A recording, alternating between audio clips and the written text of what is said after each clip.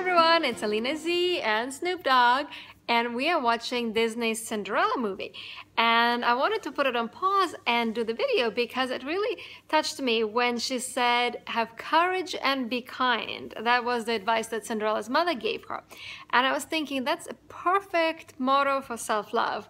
When you are talking to yourself, when you're thinking about what you're going to do, have courage to say no to old habits, to the old negative thinking patterns. Have courage to move forward in your life and be kind. Be kind to yourself, be kind to your body, be kind to your spirit. And of course, the same goes with people. You know, have courage to step in and be nice because sometimes we're afraid to be nice, or have courage to be yourself because we're afraid to be ourselves a lot of times, right?